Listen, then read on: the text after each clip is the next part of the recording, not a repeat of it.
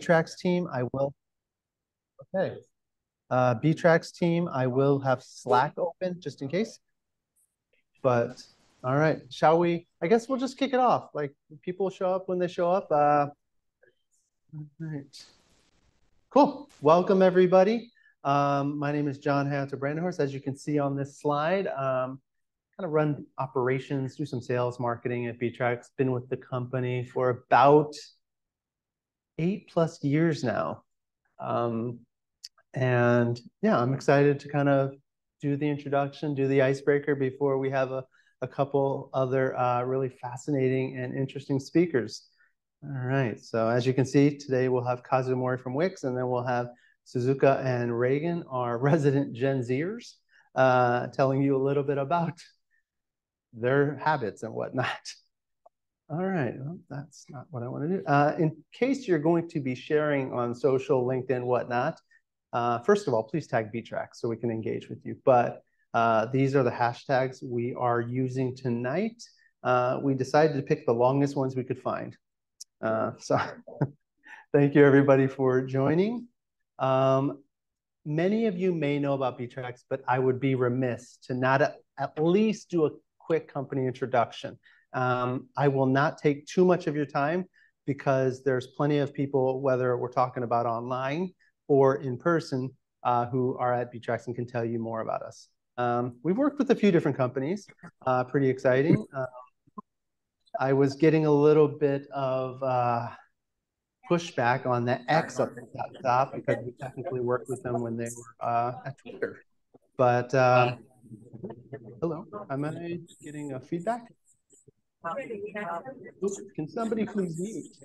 Or JC, can you mute them? All right, I think that's better. Awesome, thank you. Um, who we are. So that basically gave you time to read. Uh, we're a design and marketing agency based in San Francisco and Tokyo. Um, and we kind of focus on market entry and growth. And our mission is to design the future by bridging the gaps between cultures, business, and mindset. All right, and we are hiring. So if you're interested in what uh, kind of roles, go to the Btrax website, please. Um, I'm gonna skip past this because this tells you things that we do. But really, when we boil it down, it comes down to four kind of key areas, research and validation, UX and brand localization, growth marketing, e-commerce setup and support. So if you're looking to sell something, uh, D uh, direct to consumer, D2C, we can help you with that. Um, this is how we break it all down. I'm going to give you four seconds to read through everything. Um, and all right, got it. Take a screenshot. We're good. And oh, wait, there's more. Uh, all right, now let's just jump right into it. This is going to be the fun part. Uh, if you have your phone, and um, JC, if you don't mind telling me when people are ready online too, because they can't see online, um, you can either point at the QR code or join via putting in slido.com and then putting in that number. So I will give you all uh, some time. Do, do, do, do, do. Thanks, Peter. I appreciate you turning the music down. I kind of forgot about. Yeah, no, I hear you. All right, I think, are we ready? Is everybody, I'm gonna look around here and I'm gonna base it off the in-person group. All right, cool, here we go. In 2009, UNESCO published an atlas of endangered languages and sounded the alarm about the rapid loss of linguistic diversity. Among the 2,500 endangered languages listed in the atlas, how many were in Japan? Welcome, Jesse. 15, all right. This is fun because um, this this will help uh, this will help set the stage for who's going to get the next couple of them right. Also, uh, three threes uh, winning, so 456, 826. Uh, if you if if if you don't sense my surprise, uh, 2,000. Oh. All right. Um, I'll give it another couple of minutes, and a couple of seconds. All right. The right answer is, and I don't see it on here actually. Oh, two participants are typing. Well, I just gave away for you guys. All right, here we go. The answer is eight. Eight are spoken in Japan. Ainu, Hachijo, Amami, Kunigami, Okinawa, Miyako, Yaeyama, and Yonaguni. Six of those eight are in southern Japan. Um, and what's interesting is obviously there's quite a few traditional dialects in Japan that are also considered endangered, but according to the UNESCO report, the, they were looking at specific languages. And if you're like, well, those are all Japanese. Well, as you can see on the left, that's Ainu. Arigato is iairai kere. Uh, if anybody speaks Ainu, please let me know if I just butchered it. Um, but you know, I, I, I speak a little bit of Okinawan actually. In Okinawan, instead of arigato, it's nihedebiru. And instead of watashi wa jon desu, wanne jon di choibin. So um, I hope that just proved that they are nothing alike.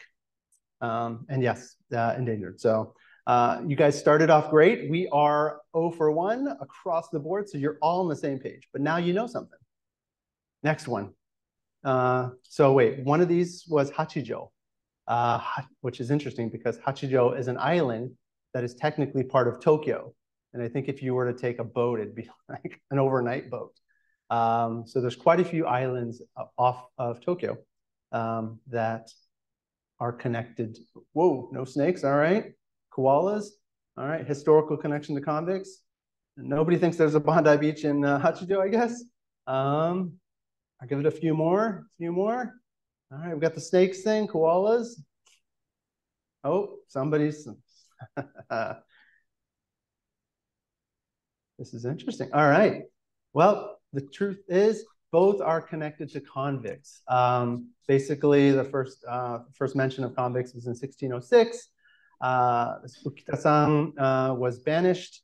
Uh, he basically fought the wrong fought the wrong battle, uh, and he was exiled to the island of Hachijo with his uh, with his sons.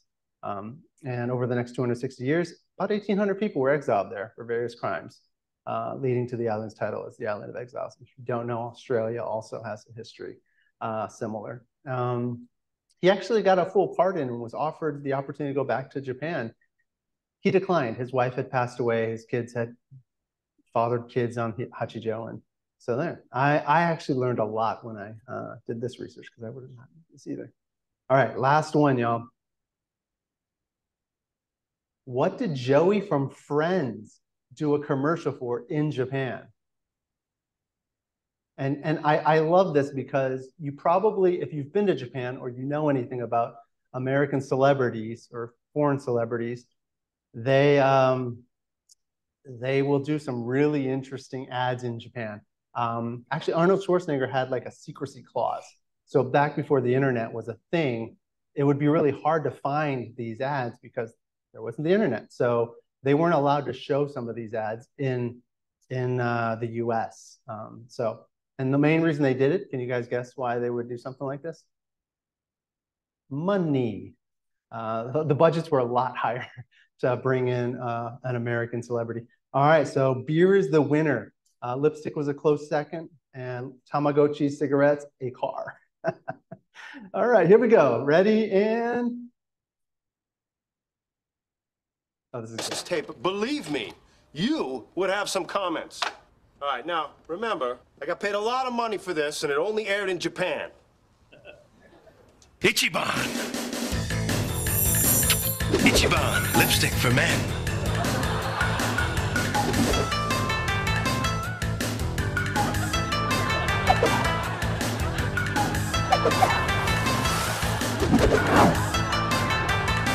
Ichiban. Lipstick for men. Saiko. And that's how I know you didn't watch the tape. he really is a chameleon. So thank you everybody for joining the uh, the icebreaker. I hope you learned something, whether it was serious or not. Um, next we have Reagan and Susie. Here's one.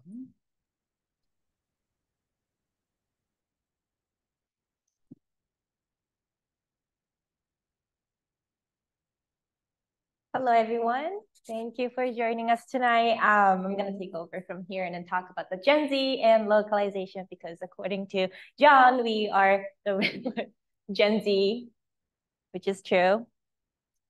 Um, okay. Hi, so my name is Reg. Oh, is it on? Should be Um, hi, my name is Reagan. I'm the marketing specialist at Btrax, and uh, I'm from Fernandina Beach, Florida, but I live in Durango, Colorado. And uh, yeah. And my name is Susie. I am a UI UX designer at Btrax. Um, I'm from IT Japan, but moved here uh, when I was in high school. All right. So this is going to be a really short uh, session. It's going to be 15 minutes. Um, so we're going to go through the ones on agenda, uh, what's Gen Z, US versus Japan, marketing tips, and a little bit of true or false pop quiz. Um, I actually had the opportunity to talk in the um, another event that we hosted in Japan last week. So I'm gonna try to incorporate some of the insights that I got from the speech. Oh, this is more clear. what is Gen Z? So Gen Z refers, I'm not gonna use this. Yeah. Gen Z refers to the individuals born uh, from the mid 1990s to the early 2010s. Uh, we are also the digital natives, so growing up in a era saturated with the digital technology, and we are also the generation that's the most uh, diverse and inclusive. Um, there's also another uh, term called zillennials. It's really new. Uh, it refers to the uh, the individual individuals born between 1992 to 2000, 2002. So I'm technically zillennial, and you are. yeah, same. Okay, so from here, we're going to take a look at the statistical differences uh, in Gen Z between US and Japan. Okay, okay. so um, in terms of social media usage rates among Gen Z, uh, the US and Japan are both pretty up there. So it's one of the, um, it's definitely the most online uh, generation so far. Same, same as uh, Japan.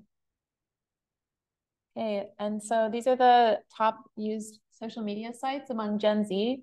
And um, you might be surprised to see YouTube up there. So that's the number one for US, TikTok, Instagram, and Snapchat. And um, we're going to talk a little bit more about why YouTube is considered a social media platform in a moment.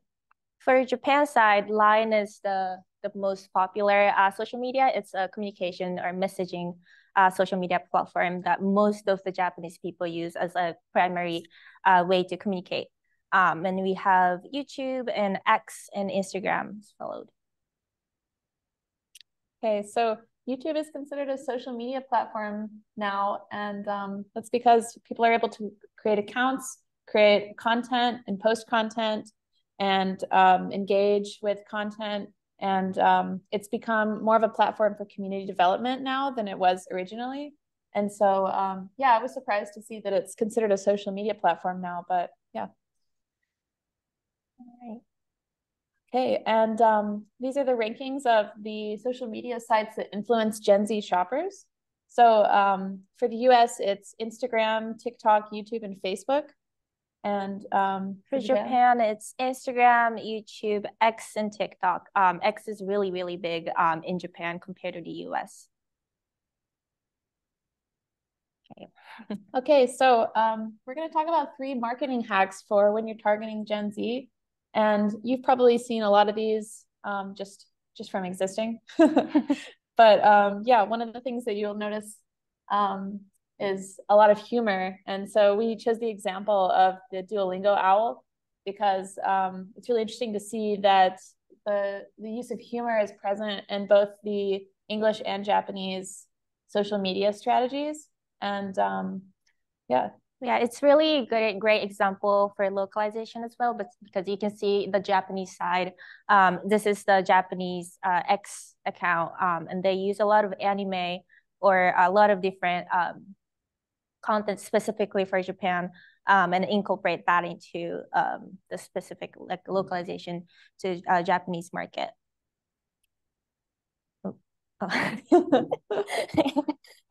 okay. Um, so another point to pay attention to is um, uh, leaning into what Gen Z is passionate about and being cautious not to do it too far too.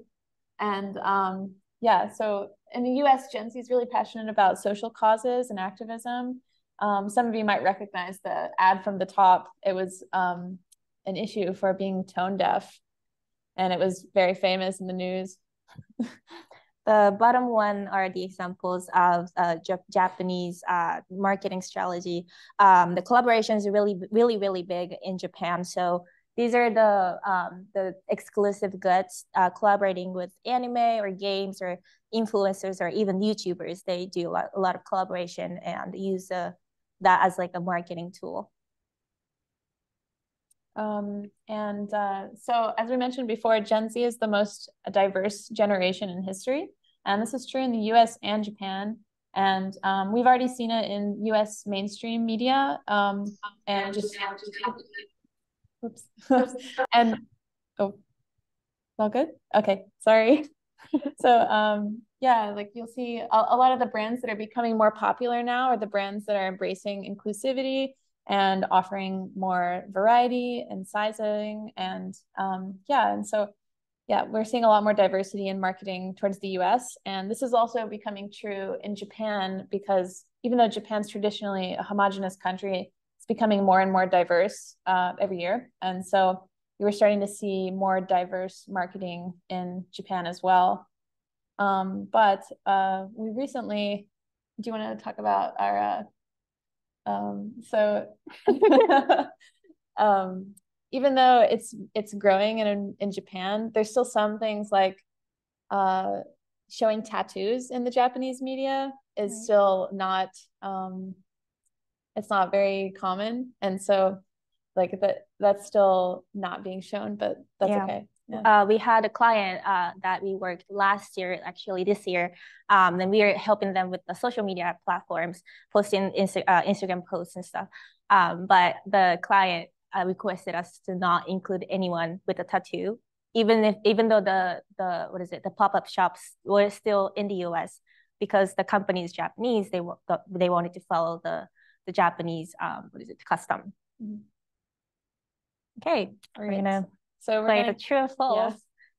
So if you look under your chair, you'll find really um, DIY. Yeah, it's a little bit DIY, but uh, so um so I thought it'd be fun and interactive for you guys to play with us. So yeah. All right. All right. Um, let's get started. okay. First question. Gen Z prefers traditional forms of communication such as face-to-face interactions over digital communication. Oh, I'm actually saying true Ooh. or false. Okay, we're actually seeing mixed false. responses. If you're joining us online, you can um, put in the chat as well. We'll look later. a lot of, false? of false. Okay. All right. We're seeing a lot of false in the crowd as well. And the answer is False. False. Gen Z is often characterized by its fluency in digital communication. Um, but part of it, I think, is also the fact that uh, when we were in university, most of the time it was online as well. So we are so used to just doing remote. question two. Yeah, question number two. So true or false, Gen Z as a whole is less concerned about environmental issues compared to previous generations. Okay. False. So what are we seeing online? False. Yes. All right. Uh, true. I mean, I mean true that it's false.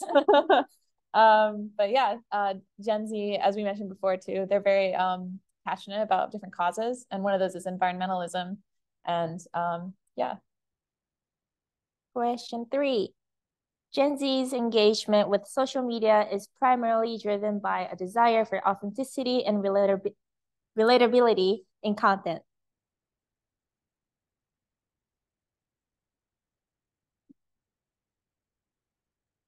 Actually, well, okay. True. All right. True. Um, Gen Z places a high value of uh, authenticity and relatability um, in a content.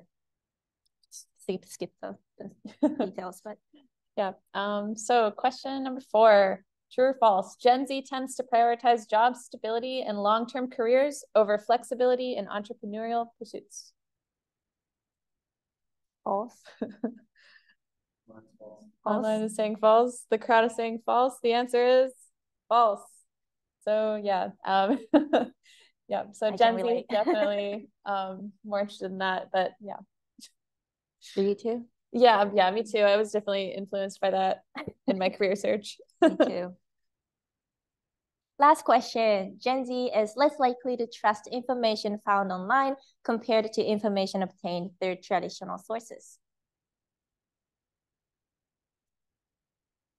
False. I'm seeing a lot of false in person. Oh, true. True. False. Oh, cool. false. False. True. which is surprising. According to our coworker, who is old, John, he thinks that all the Gen Z uh, get the resources from TikTok, which is not true because we actually go through actual, really uh, tr trustworthy websites. So no TikTok for us. but the fact is, the zillennial thing that I just mentioned, I got that information from TikTok. But it's but on the news. It was on the news.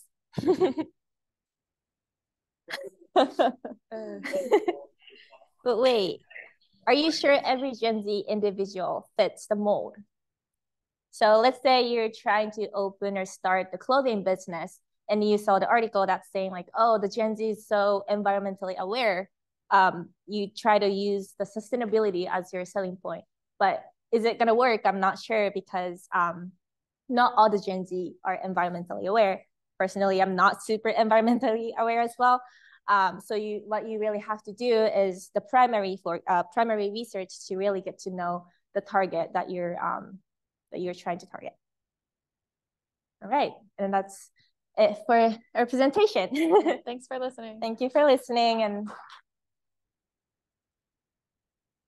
so we're gonna have five minute Q and A session. Do you have anything? I'll, I'll, I'll be checking online. And then if anybody here has questions, like for the Gen Zers. For the Gen Zers, Zillennials, questions for Zillennials.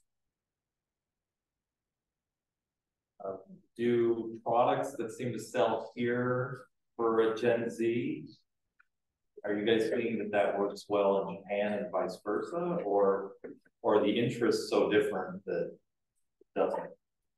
Or maybe repeat the question too for people online. repeat that. Um, wait. Uh, so, uh, so we were just asked um, if products that appeal to Gen Z in the U.S. also appeal to Gen Z in Japan, correct? Yes. Okay, and vice versa. Okay. Um, what do you think, Susie? To me, really depends on what um, industry you're talking about. Uh, for example, the Nike or the Adidas or the global um, services, they tend to use pretty much the same uh, materials for the uh, Japanese um, promotion as well. And it works because the Japanese people take that as the global service or global brand. But if it's like a super Japanese, uh, Japanese specific brand, then the same strategy might not work. So that's where the localization comes in. Yeah. yeah. Anything to add?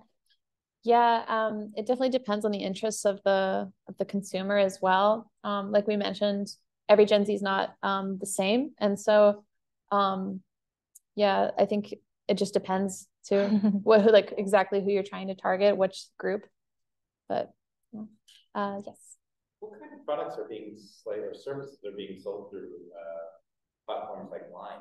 I mean, I know the communication aspect, but what uh, okay, so we were just asked um, which which kind of products are um, being marketed online, the the Japanese uh, messaging service. Um, thank you, thank you for the question, Susie. Um, have you used Line in Japan lately?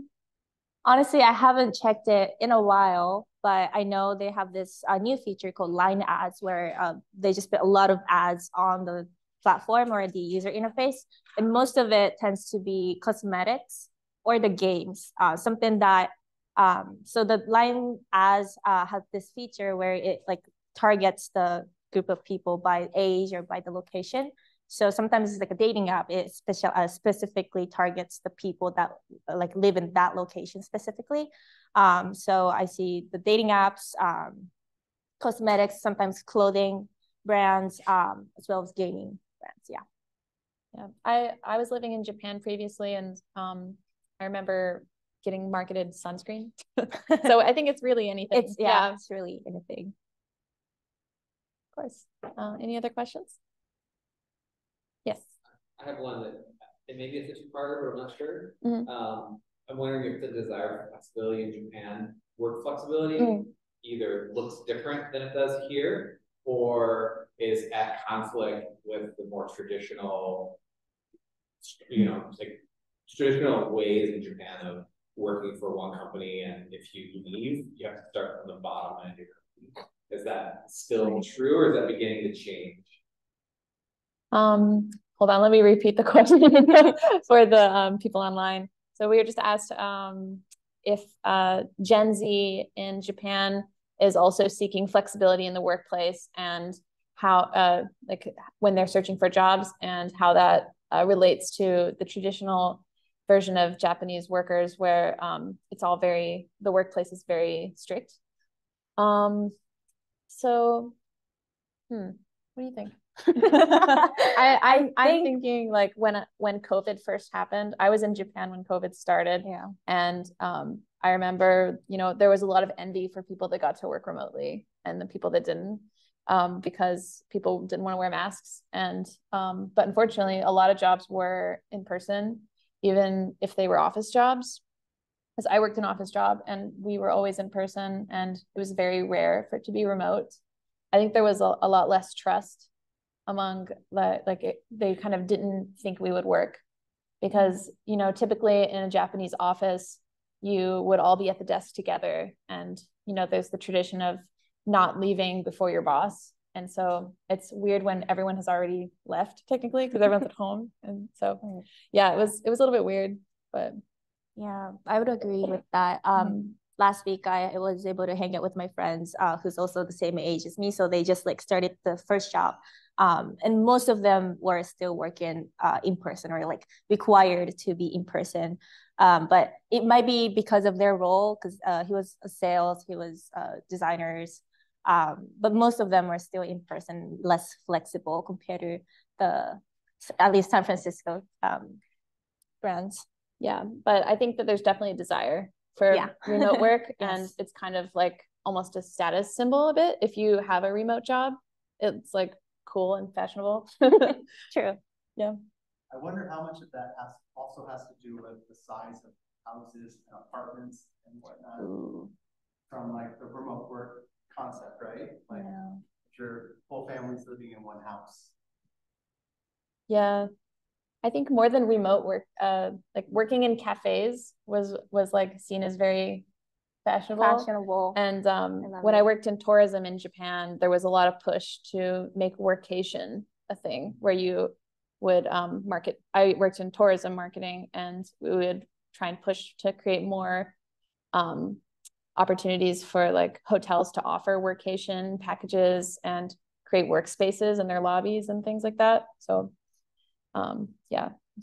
Like having the MacBook open at the Starbucks is like the status thing. uh, any other questions? Do you see any questions online? I think it's five minutes. Good. All right. Cool. Well, um, thank you for your questions and thank you for listening. And um, I hope that you learned something new or found it interesting.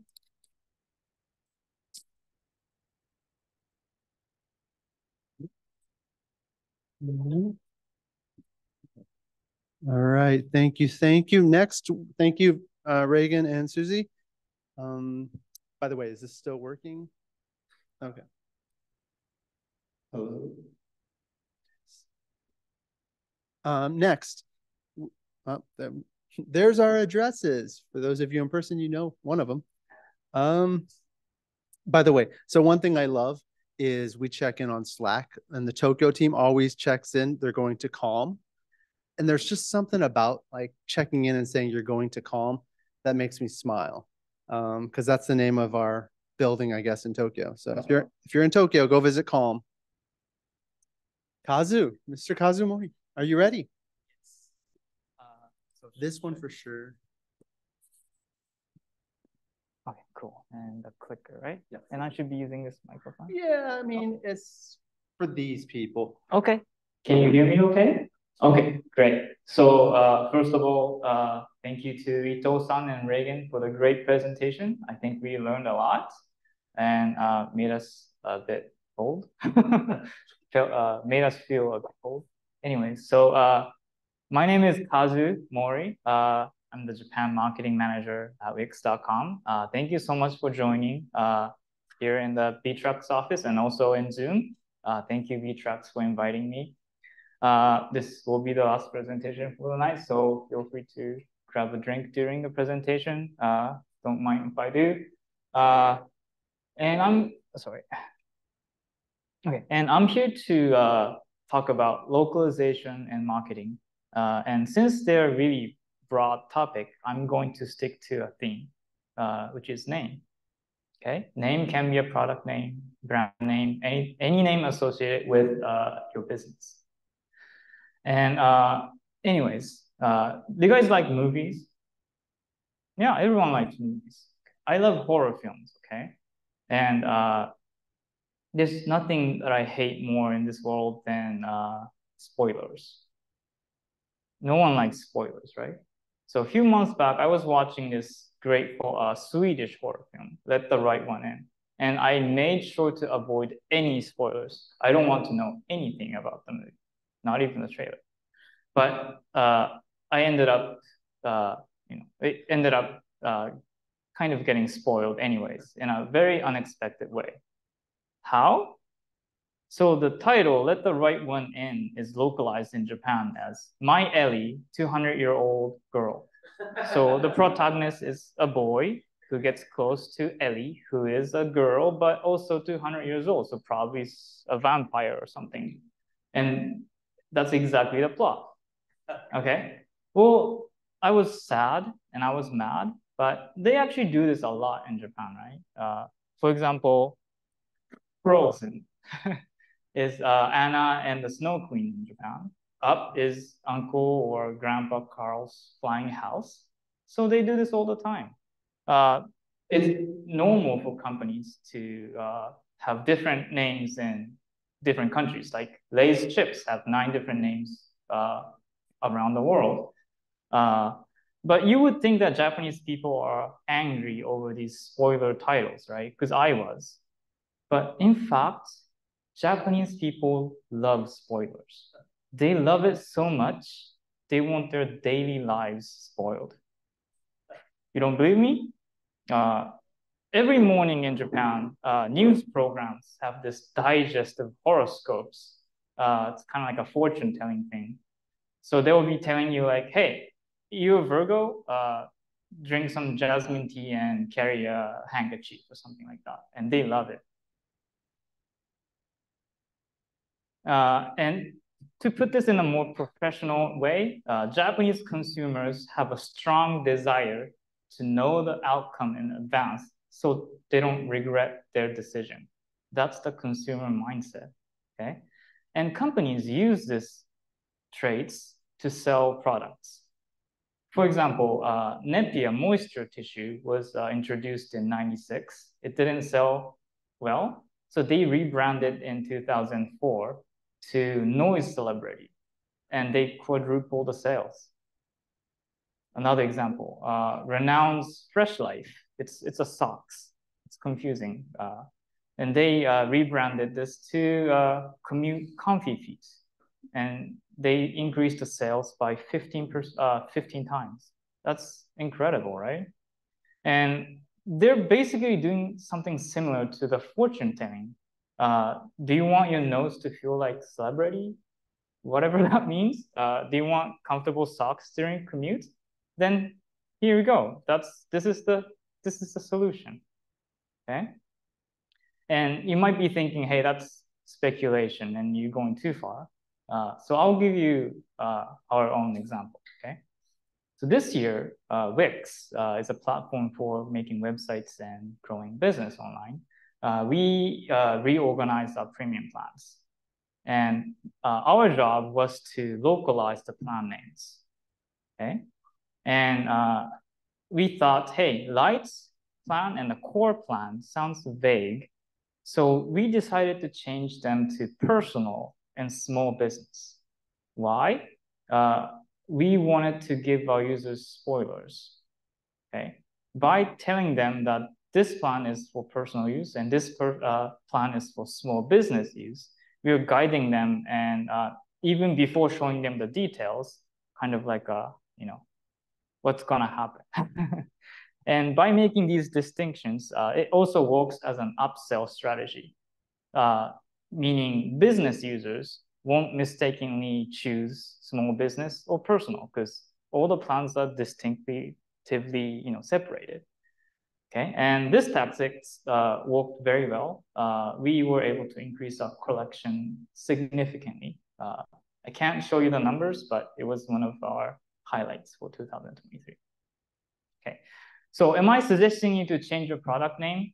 Of course not, because you can't just change your name just because you heard some guy talking about socks and horoscopes. Uh, but you can use this consumer traits in uh, many different ways. Okay, for example, uh, in Japan, B2B business uh, often use request documentation CTA rather than using a straightforward contact us link because this request documentation works as uh, like a spoiler. Uh, you kind of know, you'll be uh, kind of being educated of uh, what you're going to get, what your outcome will be before making a certain level of commitment, like contacting. Also, uh, success stories and case studies are said to be very useful, uh, important in Japan. I think everybody knows this because, yeah, it's also a spoiler. Uh, you, you will know the outcome. Uh.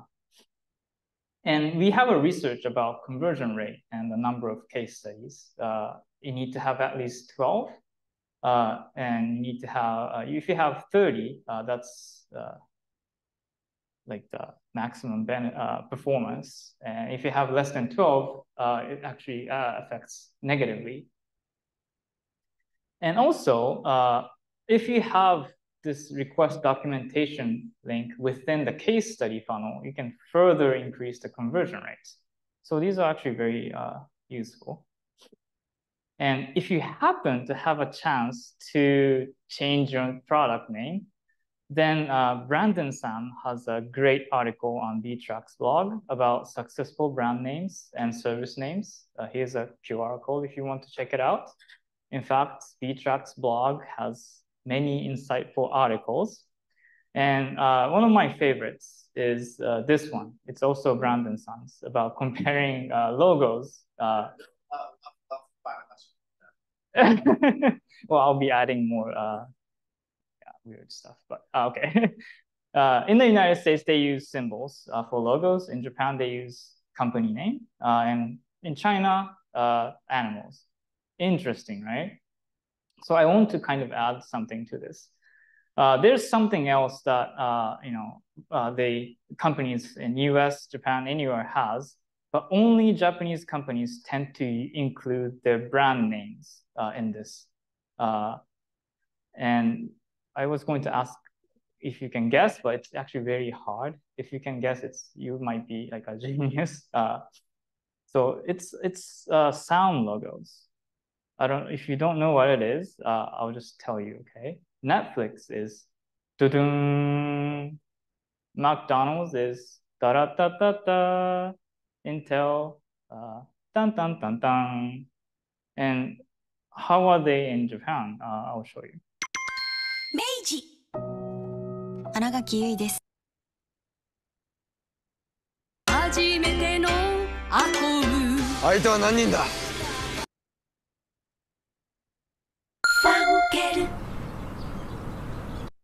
So they always include their brand name and sound logos, which is kind of weird, right? Uh, PlayStation, yes, and they use that in the global marketing too, which is pretty smart, I think. Uh, so according to Google Auto, uh, what do you call suggestion, uh, Japanese ads are weird. I think so too. I think it's true uh, because Japanese marketing is high context, uh, relies on impression, it's emotion driven compared to the low context marketing in the US. And I think that's why it allows for that kind of funny uh, name songs. Uh, and also, uh, here's the ad spends uh, by channel in 2022. Uh, spending in digital ads are decreasing. Uh, print is very strong. And also TV ads are very strong. So maybe that's why the companies are keeping the tradition of the, the sound logos in Japan. Uh, okay, but don't you think it's kind of too much, too much names in logos and songs? Uh, and does it really matter to have your name in? Well, the answer is I don't know, but I can give you one example of uh, uh, my own experience that uh, when the name was actually like a decisive factor.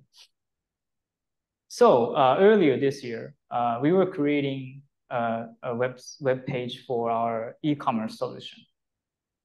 And we always start by doing an SEO research. For example, if you type create website on Google, our pages usually comes at the top or in the second place. But that's not the case for the e-commerce solution. Uh, when you search create an online store, we're kind of further down, right? So we wanted to cut, change that. We wanted to optimize a website for SEO so we can get more traffic.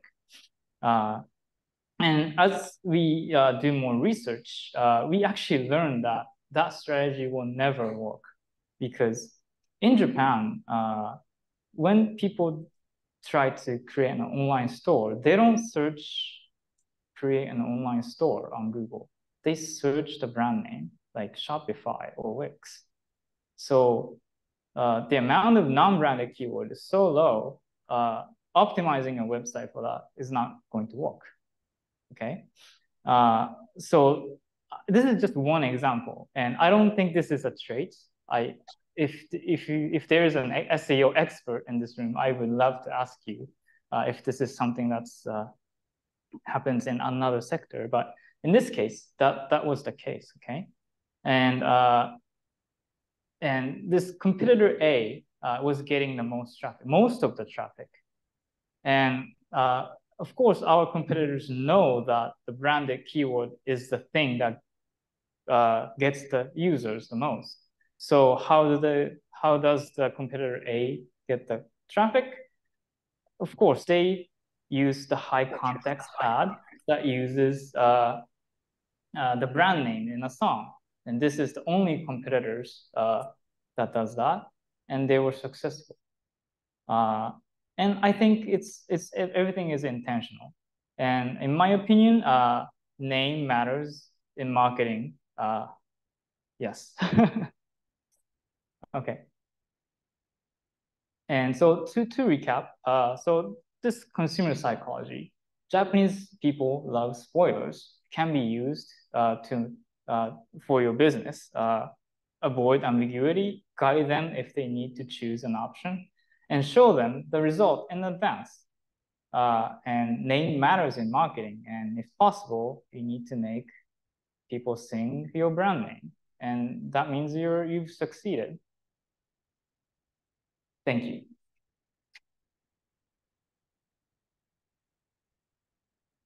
you. Sorry, maybe it was too fast. Any questions? We have, we have a few minutes for questions. I'm, I'm keeping an eye on my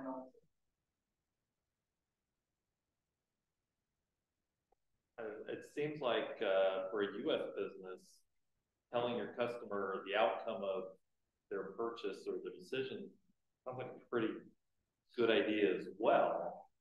Uh, do you think that's really a truly Japanese uh, unique trait? Uh, wouldn't it? I, I mean, I, I, think I want to tell my customers exactly what the outcome of of buying my product would be as well. That would work. Yes, I understand.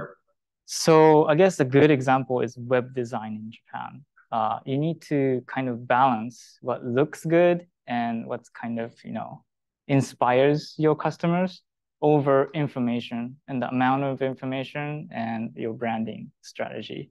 Uh, I think Btrax has like a good uh, blog about this too, but uh, how why Japanese uh, web design is too busy, why US tends to go for like a more simpler uh, strategy. Uh, and I, I, th I, think you're right. Uh, I think telling them what the outcome is could work in the United States, but in my personal experience, I think it works better for Japanese customers. Uh, yeah.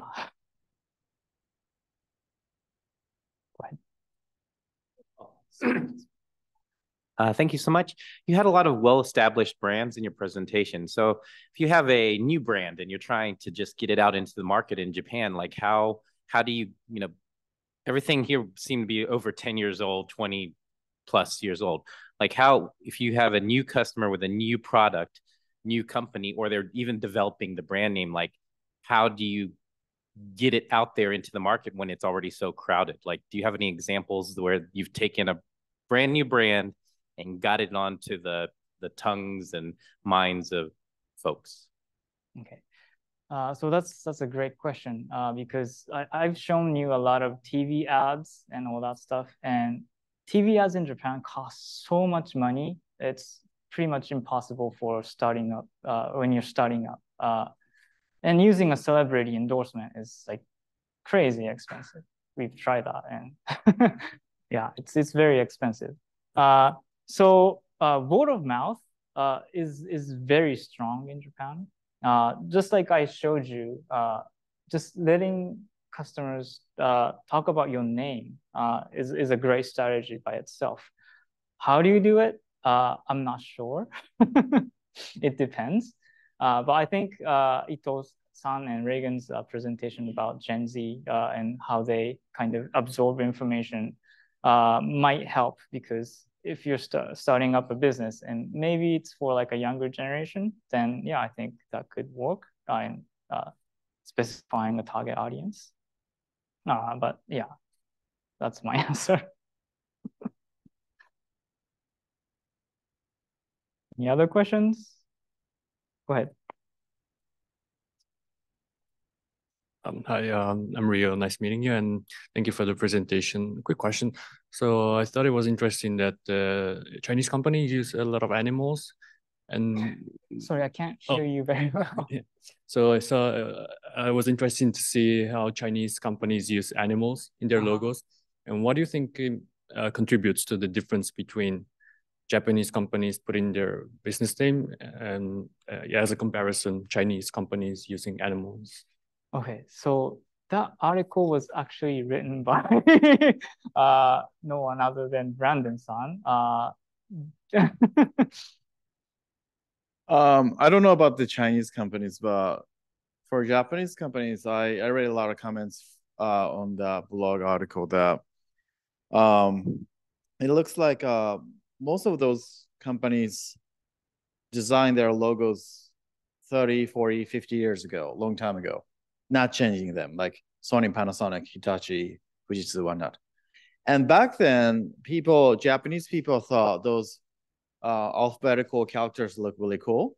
And they look at those characters as like, like a symbols instead of words, because some people do not read Eng English or alphabetical characters. So they stay as that. Um, as for Chinese, I think a lot of, most of those uh, animal logos are from the tech companies in China. And many of them actually have uh, their names in Chinese characters. But in order to go global, they realized that Chinese characters are not the universal language in the world. So they tried to convert that into something uh, relatable and identifiable. And they could uh, change their names or convert their names into alphabetical characters, it's so hard to pronunciate because it's Chinese. Alibaba is one exception um, uh, because Jack Ma decided to have that name in San Francisco. The rest, it's really hard to pronounce uh, uh, except for Chinese people. So maybe they decide to go with the uh, animal characters so that people can, it's a visual language, right? Like you can tell what those are. So that's my hypothesis, but yeah. Anybody else?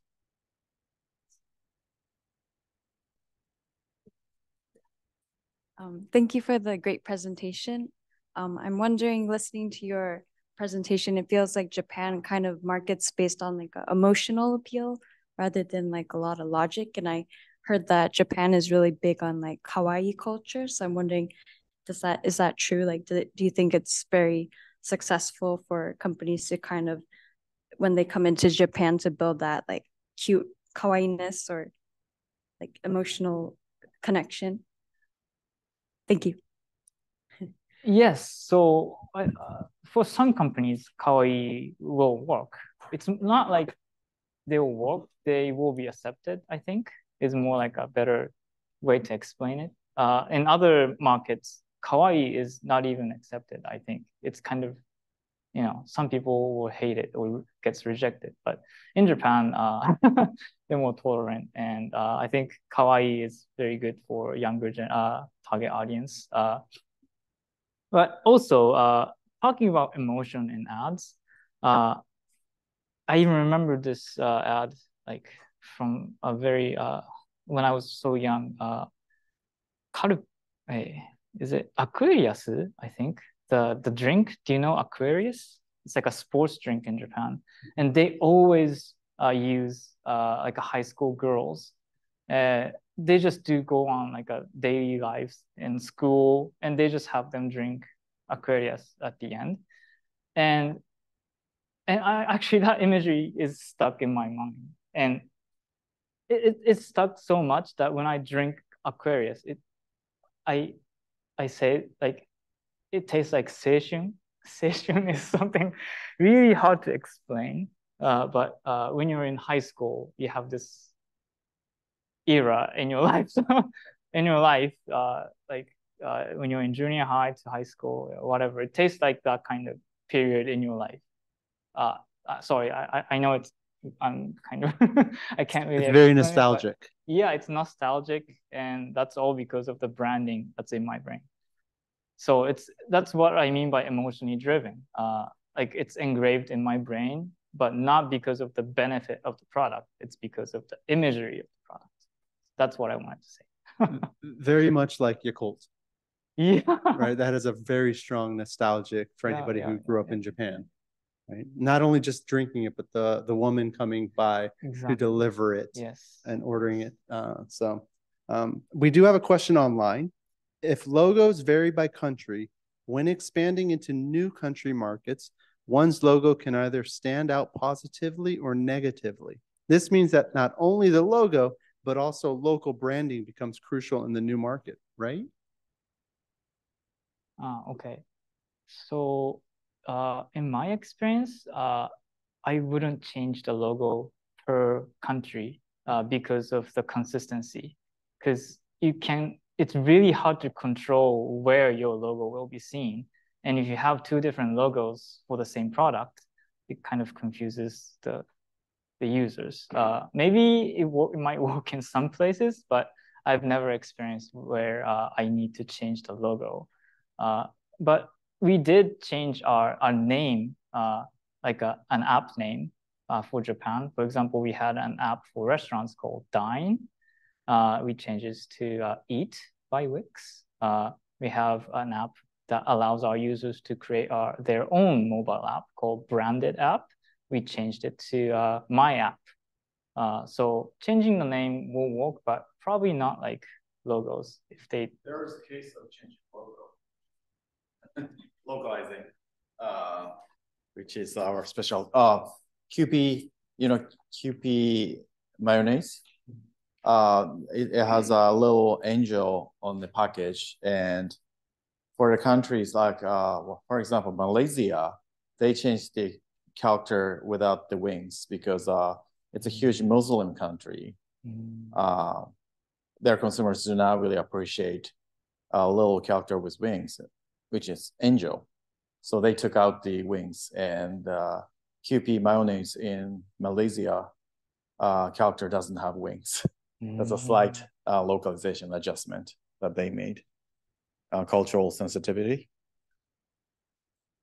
I- I'll also add that one of the things we tend to do at Btrax when working with companies that have global brand guidelines is we will localize it, but we're not change, we're changing things like font, right? Or typeface. Uh, we're doing, you know, treatments to help you market the product, but we're not changing the core of it. Uh, we're not changing the colors per se. We may change, we may have conversations on colors because colors have different meanings in different markets, but that's a conversation with HQ typically. Uh, we do have one more question online. How much experience do you have from IT product marketing, like information systems? What is typical in IT or ICT? I don't know if Kazu, if that. So we offer a solution for enterprises, and uh, I don't know if IT system uh, I have the the right idea, but uh, they provide infrastructures. Is that what I? Information systems, yeah, like infrastructure. I think part of it would be like I I actually don't know who this question came from. Okay. Uh, so uh okay. But just in general, like maybe even enterprise market. Enterprise B2B market, yes. or something like that. I, I would think that that would be closer. Okay, so yeah, we we do cater to enterprise customers. We have partnership with uh, NTT TownPage, uh, Morinaga, or uh, Konami, uh, like large corporations, and uh, we provide uh, a solution that uh, kind of makes web designing, managing, and growing their business more efficient, and so they can think fast, create fast, and deploy fast, and grow fast. Uh, so yeah, we do have experience. So if you want to, uh, if you're interested in Wix Enterprise, uh, please let me know, and maybe I can give you more information. And in terms of like IT marketing or enterprise marketing in general, I think we tend to be in some ways less creative. There's more of the traditional way of marketing to enterprises, right? A lot of it's relation based, relationship based sales cycles a lot longer. And so we're doing things like in-person executive roundtables, webinars, um, kind of trade shows, Ah, conferences, okay. things like that. Um, and we're definitely not, in my experience at Btrax so far, we definitely don't do much around logo or any kind of like changing of who they are. Um, I think part of it can be sometimes the personas are the similar uh, when you're talking to maybe U.S. versus Japanese uh, businessmen in terms of this who's buying what. So that's something else to consider. Yeah, sorry, I, maybe I got the the wrong idea. I may have gotten it wrong too because I'm basing it off of what I'm saying. So uh, in Japan, like corporate marketing uh, is all about ringi and nemawashi. Mhm. Ringi is like uh, you need to ha- provide them a document, and they'll be comparing the documents from competitors, and they have like a, this meeting where they kind of discuss everything and their specifications. Uh, so one of the thing is you need to have uh, everything downloadable or something that you can provide right away for the corporate customers so they can go into this ringi state ringi stage uh, that's one of the first thing that you need to do and also uh, you need to have a salespeople who they can reach out to you directly not through uh, like a like a long distance call or you need to have like a local people who can help them uh, yeah like hands-on support sales All right. Any other questions? Otherwise, we'll wrap it up. Uh, we'll say thank you to Kazu and uh, the Zoom meeting. We'll we'll be sharing the recording with people. Uh, but otherwise, thank you very much. Thank you so much, everybody. All right, everybody on Zoom.